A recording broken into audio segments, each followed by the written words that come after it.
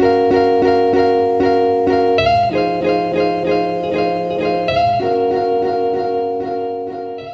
want to give a high level overview of how everything is going to interact within the video that we are discussing today. It all begins inside of the terminal. And in the terminal, we utilize the Docker client with the Docker command. And there's a lot of things that we can do with this. We can run containers, stop them, create them. We can look at logs. We can ran really manage the entire lifecycle of a container through the Docker client inside of the terminal. We're going to start talking about the image. And the image is nothing more than layers of software software that are layered on top of each other. We have a base layer that could be something like Ubuntu, Node on top of that, and then our application code on top of that. And we call these layer one, layer two, layer three, the layers of our software that compose our final image that we use to deploy and create containers out of. Typically, what we do with images is we pull them down. We pull them down from something known as a registry. And there are public and private registries. A very common public registry is the Docker Hub, and they house all of these images images that we can pull down to our local machine. Inside of the registry is a bunch of things known as repositories, and each of these repositories hold all of the different versions of the images that we pull down. So we can have an Ubuntu repository, an Alpine, Node, Java, all these different repositories are holding all of the historical traces of images that have been put up to the public registry, and that is what we download them from. Typically, once we have the image actually on our host machine, what we can do is we can spawn a bunch of running instances of the image, known as a container, across different systems and servers all over the globe as many times as we want. And this automates the configuration and deployment of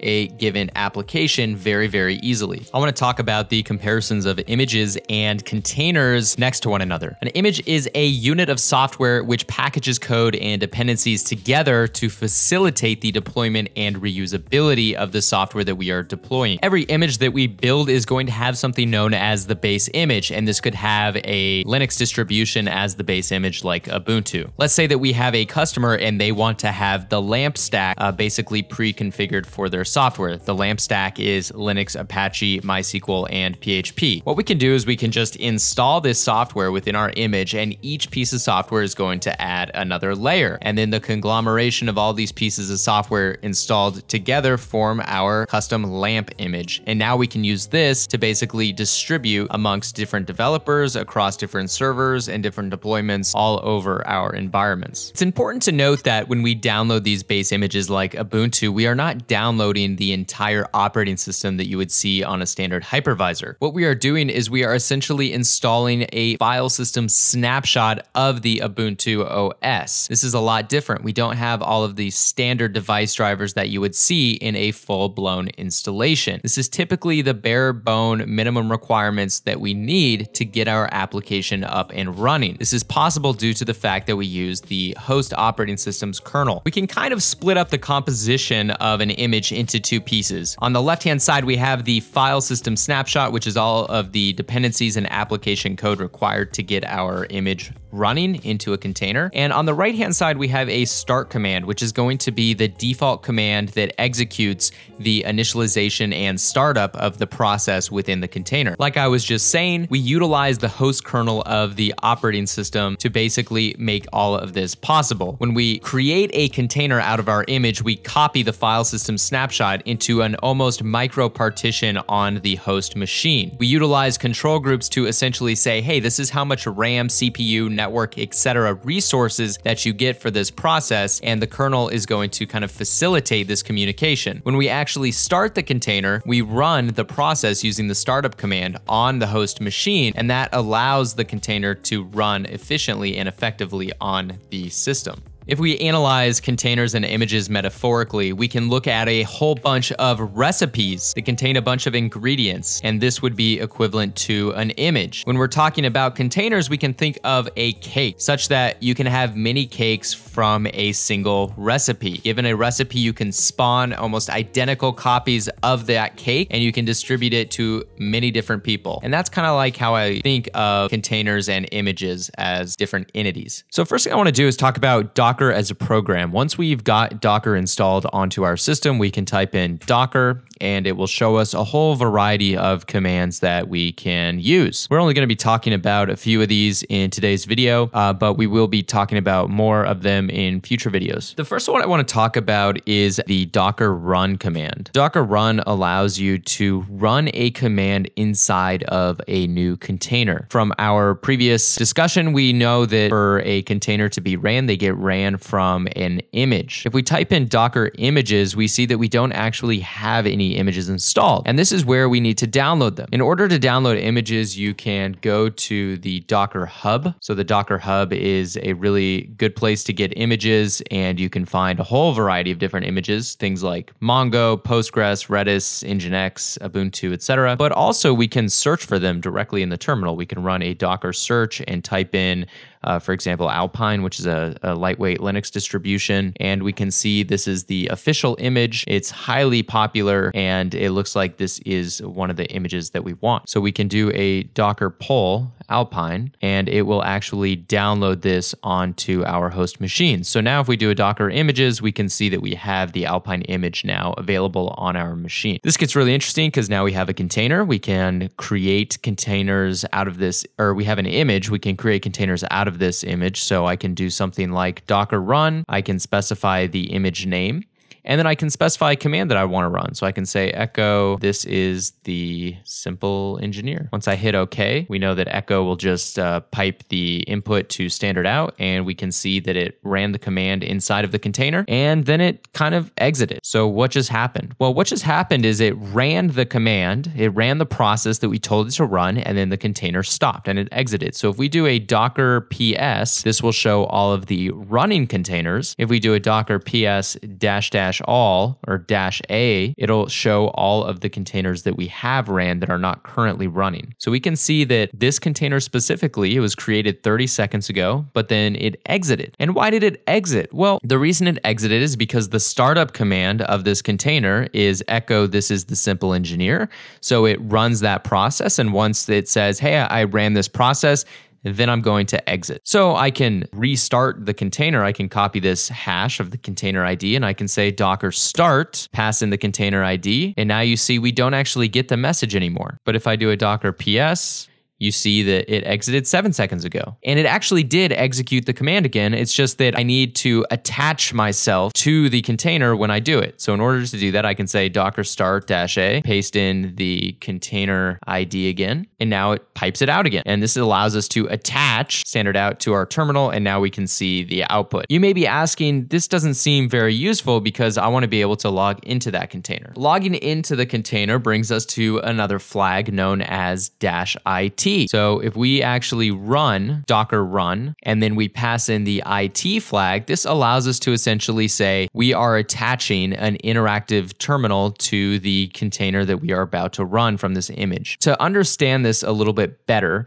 we know that um, in Linux, a process has three communication channels. We have standard in, we have standard out, and we have standard air. What this is allowing us to do is essentially say, I want to attach to standard in of the container. So I want to be able to send commands to the container, and then I want to be able to get the standard out of that output written to my shell. So this gives us this kind of interaction between the terminal. So if I run docker run it, I pass in the container the image name, and then I can pass it the process that I want to run. So let's say I wanted to run the shell process. If I hit enter, I've now entered the shell of the container. So I can run ls-la. We can see the different file system snapshot of this particular image. Um, and then I can obviously create directories um, and then I can exit. If I do a docker ps, we see that the container is not running anymore because we have exited it. But if I do a ps dash dash all, uh, we see that the startup command is now this shell. So what I can do is I can do a docker start on this container ID. And now when I do a docker ps, we see that it is actually running in the background. Now that I have this running in the background, if I wanted to actually execute commands into this, we use a, a command known as docker exec. So I can say docker exec and then I can do dash IT. So I'm feeding in standard input into this container, and then I'm going to pass in the container ID and then the command I want to run. So this is the simple engineer. And we see that it executes that command. The container is still going to be running, um, but now if I want to actually log into it again and get a, a shell, all you have to do is do docker exec it. You can paste in the hash of the container, and then you can just do uh, sh and that's going to be the shell. And now you see I'm back inside of the container. Uh, let's talk about interacting with containers um, from some different commands. So if, if we do a docker ps, um, we see that we have this container ID. If I want to stop this, I simply just do a docker stop on the container ID and it will stop the container. It's important to note that it seems like it's taking a long time, and that's because docker stop tries to gracefully shut down the container. And that basically says, hey, I'm going to give the running processes within the container a chance to stop. And if they can't gracefully be shut down within 10 seconds, then I'm going to force a kill. If you want to instantly kill a container, you can just do a docker kill and then paste in the hash. Obviously, it's not running anymore, but that's exactly what we would type to achieve that. Okay, so I can do a docker ps, which will list all running containers. A docker ps-a or a docker ps-all will list all the past containers that have ran but are in an inactive or exited state. So if you want to stop these or start these, you can do a Docker start like we saw previously,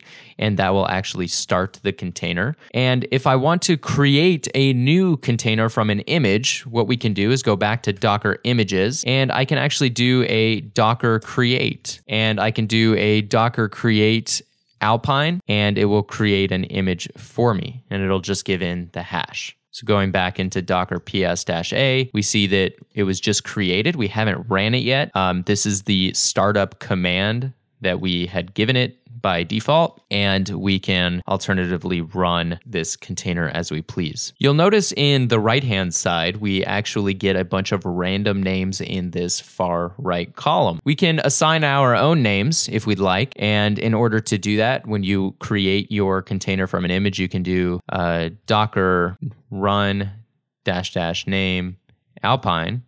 Uh, Actually, we'll do the simple engineer and then the image name. If I look at my Docker ps-a, you'll see now we have the simple engineer as the name and this is using the Alpine image. The difference between some of these commands like docker run, docker create, and docker start if we look at Docker Run in a little bit more detail, uh, Docker Run will actually go out and go to the Docker hub, the Docker registry, and attempt to pull the container in. If it doesn't exist, it'll create the container out of the image uh, that you pull down from the Docker hub, and then it will run it. So it's a very all inclusive command. If we do something like Docker Run Ubuntu, it'll say that it can't find it.